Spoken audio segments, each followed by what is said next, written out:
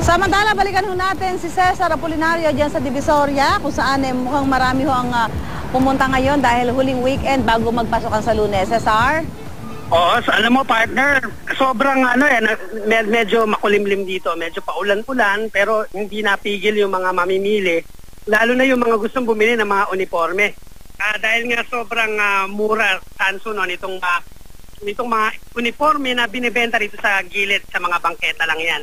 Yung presyo ng mga uniform dito sa bangketa, gaya ng pantalon, ay nasa 150 to 170 pesos. Ang palda naman ay 120 to 130.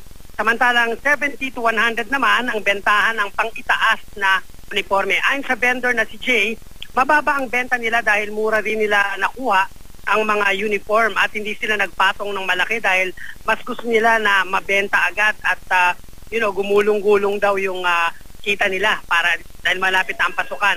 At pamurahan din dito sa bangketa ang medyas na may presyong 50 pesos kada tatlong piraso. Mabili rin ang mga gamit panlaban sa ulan.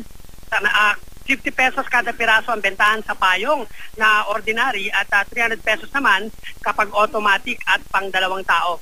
Affordable din ng ah, tinitindang bag pero depende raw yan sa brand. Mula 140 pesos to 130, ah, 360 pesos ang presyo nito.